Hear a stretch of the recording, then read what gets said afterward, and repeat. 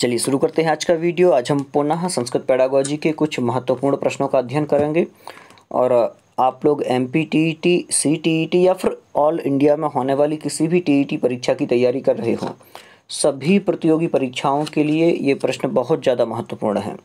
आप लोग वीडियो की प्लेलिस्ट में जा कर के पहले वो वाले वीडियोस देखें, इसके पहले के। और यदि आपने अभी तक अपने इस चैनल को सब्सक्राइब नहीं किया है तो सब्सक्राइब भी कर लें। क्योंकि इस प्रकार के जो भी वीडियोस की नोटिफिकेशन रहे, वो आपके पास पहुँच जाए। और आप प्लेलिस्ट में जा कर के अन्य वीडियोस ज़रूर देखें, सभी वीडियो का अभ्यास करें, आपका अभ्यास बहुत अच्छा हो जाएगा। चलिए, पहले प्रश्न से स्टार्ट करता हूँ। शैक्षिक अनुसंधान प्रशिक्षण परिषदा, कतमे वर्षे आंतरिक मूल्यांकनोपरि वलम दत्तम। क्या कह रहे हैं? शैक्षिक अनुसंधान प्रशिक्षण परिषद जो है, उसने कौन से वर्ष में आंतरिक मूल्यांकन पर बल दिया? तो कौन सी सन में आंतरिक मूल्यांकन पर बल दिया था? राष्ट्रीय शैक्षिक अनुसंधान एवं प्रशिक्षण परिषद ने। बताना है आप लोगों को, ऑप्शन में उन्नीस सौ पैंसठ दिया है, उन्नीस सौ सैंतालीस दिया है, उन्नीस सौ पचहत्तर दिया है, उन्नीस सौ सड़सठ दिया है। सही क्या रहेगा? 1975 ये वाला। जो तीसरे नंबर पर दिया हुआ है, ये रहेगा सही उत्तर। आगे चलते हैं, राष्ट्रीय शिक्षा नीति कार्य योजना कदा संगठिता अभवत। क्या कह रहे हैं? राष्ट्रीय शिक्षा नीति कार्य योजना कदा संगठिता अभवत। जो राष्ट्रीय शिक्षा नीति कार्य योजना है, वह कब संगठित की गई? 1948 में, उन्नीस सौ बावन में उन्नीस सौ छियासठ में या फिर उन्नीस सौ अड़सठ में तो राष्ट्रीय शिक्षा नीति की जो कार्य योजना थी, वो कब आई या फिर कब संगठित की गई? तो उन्नीस सौ अड़सठ में, जो 68 है, ये सही रहेगा, चौथे नंबर वाला। आगे। छात्राणाम भाव प्रकाशन से शक्ते विकास भवती। छात्रों के अंदर भाव प्रकाशन की शक्ति का विकास होता है। वाद विवाद विधि ना वाद विवाद विधि के द्वारा मतलब कि अपने भावों को सभी के सामने प्रकट करने की शक्ति। जो बालक बोलना चाहता है, वो बोलने की शक्ति कहाँ से प्रकट होती है, ये पूछ रहे हैं। पहला है वाद विवाद विधि ना वाद विवाद विधि के द्वारा ऐसा होता है। या फिर पारायण विधि ना, पारायण विधि के द्वारा। या प्रश्नोत्तर विधि ना, प्रश्नोत्तर विधि के द्वारा। या पाठशाला विधि ना, पाठशाला विधि के द्वारा।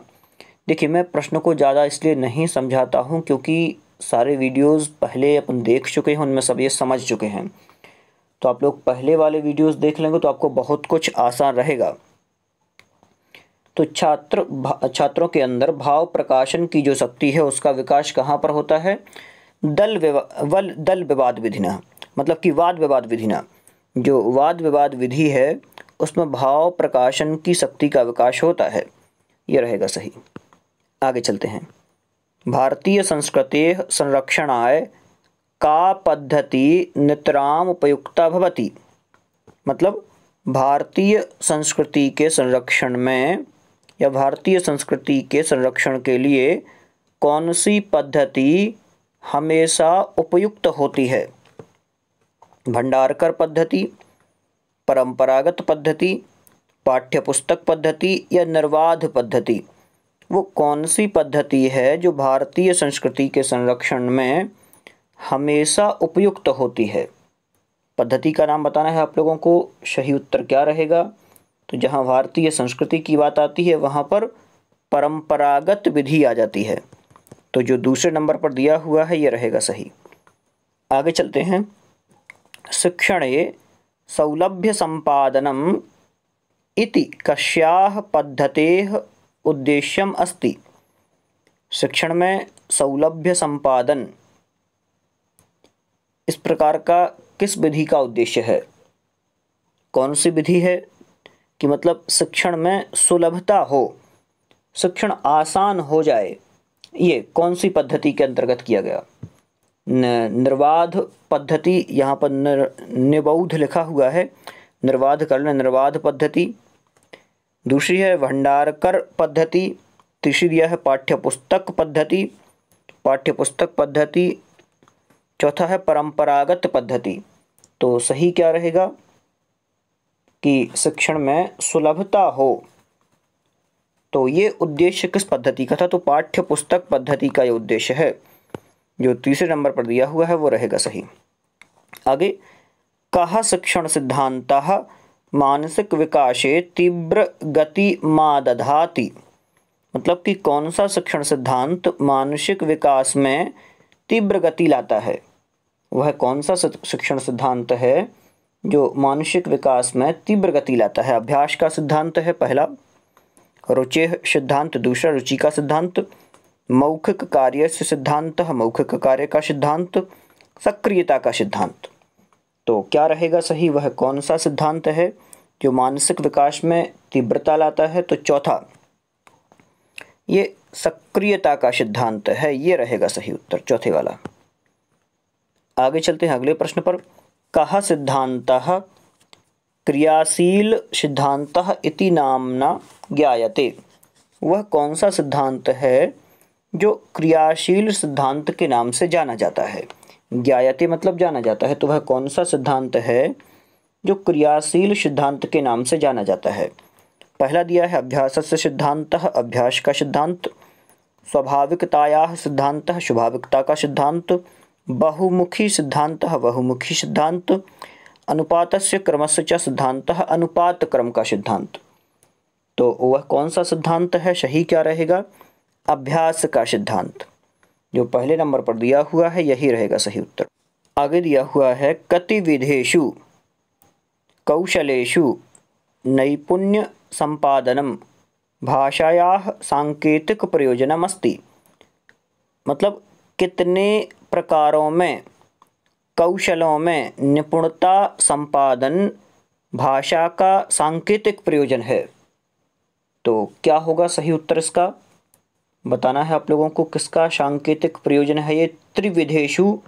तीन प्रकार का सांकेतिक प्रयोजन है। या चतुर्विधेशु चार प्रकार का है, द्विविधेशु दो प्रकार का है या पंचविधेशु पाँच प्रकार का है। तो यह कितने प्रकार का है? जो कौशलों के बारे में पूछा है तो चतुर्विधेशु चार प्रकार का, जो दूसरा है ये रहेगा सही। छात्राणाम द्वितीयो लक्षि लक्षिताधिगम विशेष किम नामकम कौशलम? मतलब कि छात्रों के लिए द्वितीयो लक्षिताधिगम विशेष मतलब कि दूसरा लक्षित अधिगम विशेष नामक कौशल है, कौन सा है? तो कौशलों में जो दूसरे नंबर वाला है, वो आपको बताना है कौशल। तो श्रवण, भाषण, पठन और लेखन। तो दूसरे नंबर पर कौन आता है? भाषण। ये थोड़ा सा प्रश्न कठिन सा लगता है, लेकिन समझ में आ जाए अगर कि ये पूछा है तो बहुत है। आगे, वर्णोच्चारण शिक्षण कस्य नियमित प्रशिक्षण भवती। मतलब कि वर्णोच्चारण जो प्रशिक्षण है वर्ण, वर्णोच्चारण जो शिक्षण है, उससे नियमित रूप से किसका प्रशिक्षण होता है? श्रवण कौशल का ध्यान से ऑप्शन दिया हुआ है। स्वर यंत्र स्वर यंत्र का श्रवणेन्द्रिय से श्रवणेन्द्रिय का प्राणेन्द्रिय से प्राणेन्द्रिय का या फिर स्पर्श इंद्रिय से इंद्रिय का तो स्वर यंत्र का होता है क्या? श्रवण इंद्रिय सुनने का होता है क्या? प्राण इंद्रिय प्राण का होता है क्या? या फिर स्पर्शन इंद्रिय मतलब छूने का होता है। तो जहाँ वर्णोच्चारण की चर्चा होगी, वहाँ पर स्वर यंत्र आएँगे तो ये रहेगा जो पहले नंबर पर दिया हुआ है। ये होगा इसका सही उत्तर। आगे चलते हैं। अधिगम प्रक्रियायाम केशाम विशेष भूमिका अस्ति। मतलब कि अधिगम प्रक्रिया में किसकी विशेष भूमिका है? अधिगम प्रक्रिया में किसकी विशेष भूमिका है? दृश्य, ध्यान से दृश्योपकरणाम, दृश्योपकरण की। दृश्य श्रव्योपकरणम, दृश्य श्रव्योपकरण की। या फिर श्रव्योपकरणम, केवल उपकरण कर लें यहाँ पर उपकरण। और दर्शप, ध्यान से दर्शप कारणम या फिर दर्श उपकरण ये भी हो सकता है। तो अधिगम प्रक्रिया में किसकी विशेष भूमिका होती है? तो दोनों प्रकार की होती है, दृश्य और श्रव्य उपकरण। दोनों प्रकार के उपकरणों की विशेष भूमिका होती है तो दूसरा रहेगा सही। आगे मस्तिष्क यंत्र से अपरम नाम किम? मस्तिष्क यंत्र का अपर नाम मतलब कि दूसरा नाम। तो मस्तक यंत्र का दूसरा नाम क्या है? दूरदर्शनम, पहला दूरदर्शन दिया हुआ है। ध्वनि पंजिका या भाषा पंचिका या संगणक। तो मस्तक यंत्र किसे कहा जाता है? संगणक को कहा जाता है। संगणक मतलब कंप्यूटर कंप्यूटर को कहा जाता है। मस्तक यंत्र। आगे मूल्यांकन छात्र से पूर्णतया किम मापितुम शक्यते। मतलब मूल्यांकन के द्वारा छात्रों का पूर्ण रूप से क्या माप सकते हैं? क्या माप सकते हैं? वैदुष्यम, विदुष मतलब कि उसका ज्ञान माप सकते हैं। कितना विद्वान है वो? चातुर्यम, चातुर्य नाप सकते हैं। व्यक्तित्व व्यक्तित्व नाप सकते हैं। या फिर प्रातिभ्य, उसकी प्रतिभा माप सकते हैं। तो मूल्यांकन से छात्र की विदुषा माप सकते हैं, वैदुष्य माप सकते हैं, कितना ज़्यादा विद्वान है छात्र, कितना उसे आता है। आगे चलते हैं। वहुश्लोक कंठस्थीकरणम कस्याम परीक्षायाम अपेक्षते मतलब कि बहुत सारे श्लोकों को कंठस्थ करना किस परीक्षा में अपेक्षित है?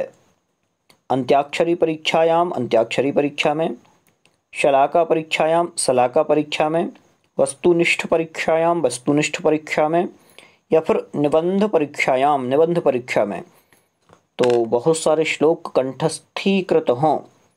तो ऐसी परीक्षा कौन सी होती है? तो वह अंत्याक्षरी परीक्षा होती है। इसमें ज़रूरत पड़ती है। पहला, आगे, साक्षात्कार का परीक्षा आयोज्यते। मतलब साक्षात्कार में कौन सी परीक्षा आयोजित होती है? किस प्रकार की परीक्षा होती है साक्षात्कार में या इंटरव्यू में? वस्तुनिष्ठ परीक्षा, क्या वस्तुनिष्ठ परीक्षा होती है? गलत। मौखिक परीक्षा होती है कि हाँ मौखिक तो होती है। निबंध रूपेण होती है क्या? निबंध रूप में भी नहीं होती है और निदानात्मक भी नहीं होती है। तो वहाँ पर सीधे सीधे कौन सी होती है?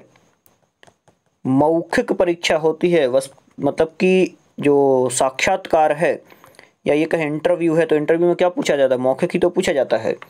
तो बिल्कुल ये रहेगा सही उत्तर।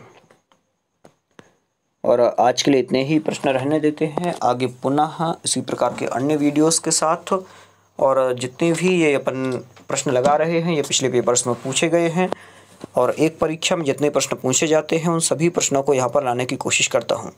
और कई प्रश्न इसलिए छोड़ देता हूँ, क्योंकि वो रिपीट हुए हैं तो बार बार दोहराने से अपन को कोई फ़ायदा नहीं है।